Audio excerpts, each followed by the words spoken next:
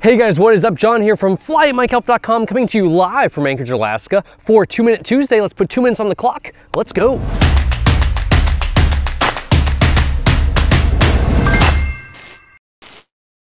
So today's topic is how to not end up like this guy. This guy had a really rough day, obviously, and what did he do wrong? Well, it wasn't anything major, actually. He took off with carburetor ice. And with carburetor ice, your engine does not produce full power. He wasn't really able to get very much higher than the treetops, clipped the treetops, and went into the ground. Now, you may say, okay, well, I'm just gonna check carburetor heat a little more thoroughly than on my run-up, and I will be good. This will never happen to me. I'm good to go. I can go ahead and click the pause button or click the next button and watch the next video. Well, we want to share a little bit more about this with you because this isn't just about carburetor ice. This is about any time you shouldn't take off. This is about any time your engine is not producing full power. And what this whole video is really about is about static RPM. And what static RPM is, when you have a propeller and you apply a certain amount of power to it, it's going to spin a certain RPM, right? So we apply more power, it spins faster. Your engine has a set amount of power. So you apply full power, it's going to spin a set RPM. It can't spin any faster unless you apply more power. Now, we want to achieve a minimum amount of power out of our engines to know that they're good, right? That we don't have carburetor ice, that we don't have cracked cylinders, we don't have fouled plugs, we don't have, you know, shorting spark plug leads, we don't have any number of things that could cause the engine to not produce full power. We want to make sure that when we are taking off, we're getting full power. Simple way to do this, right? When you apply full power before the airplane starts to roll on the ground, before it really picks up speed down the runway, check your RPM gauge, check your tachometer.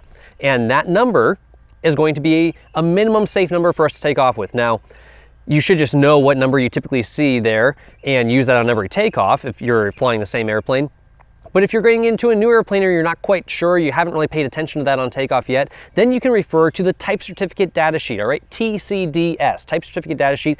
Every single certified airplane has one of these. So let's go ahead and use an example of what should our minimum static RPM, what should be the minimum safe RPM we see for a Piper Cherokee, right? So Piper Cherokee, we're just gonna type in Piper Cherokee PA-28 TCDS FAA on Google. And we get this result, we go ahead, click through here, we look through some technical data. Now, this is for a lot of the PA-28s out there, all right? That covers Arrows, Cherokees, Warriors, whatever. So let's go ahead and by serial number, narrow it down to the one we want. And we're going to find here for a specific engine and a specific propeller mounted on that airplane, we should have a specific RPM, all right? And if we don't see this RPM number, well, your tachometer could be off, which isn't totally, you know, unrealistic, or your engine may not be producing full power, either because carburetor ice, cracked cylinders, low compression, any number of things. As a pilot, when you're taking off, don't worry about all those extraneous things. Just worry about, do I have power to take off or do I not? All right. Now you can also get that feeling in the seat of your pants, that acceleration you feel. Maybe the brakes are dragging. That wouldn't show up even if you had full power from the engine. Maybe you're just heavy, you have low tire pressure, you're going slightly uphill and you didn't think about that. Any number of those things, right? So before there's a lot of airflow through the propeller, before you're really rolling down that runway, check as you're getting onto that runway. Mixture set appropriately, mags on both. Pressure, oil pressure, make sure that engine's going to continue to run when you do get into the air and make sure you have the proper static RPM. So even if you're one of those guys that doesn't like using a checklist, just a little memory aid before you take off when you're getting onto that runway, mixture set full rich or appropriate for the density altitude, mags on both, check that you got oil pressure and check that you got proper static RPM when you get that throttle into full.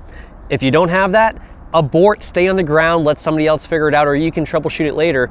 Don't try to be thinking, well, do I have low compression here? Do I have carburetor ice? Let me go ahead and check my carb heat and continue this takeoff roll. That would be very silly, all right? So from a safety standpoint, this really could save your life. Check static RPM every time you take off before you really get rolling down that runway. Super easy to pull the powered idle and stay on the ground, guys really difficult to deal with some of these issues when you're airborne and the trees are coming. So hopefully that helps you. That may save your life or share this with other people. It may save their life one day.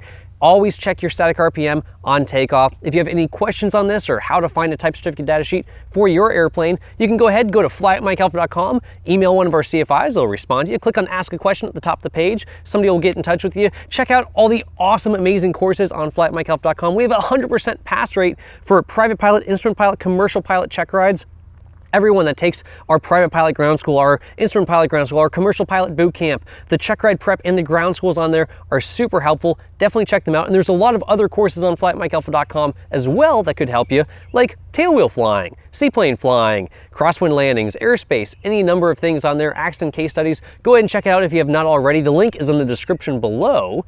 And as always, guys, if you cannot fly every day, fly. Stay safe. We will see you guys in the next video.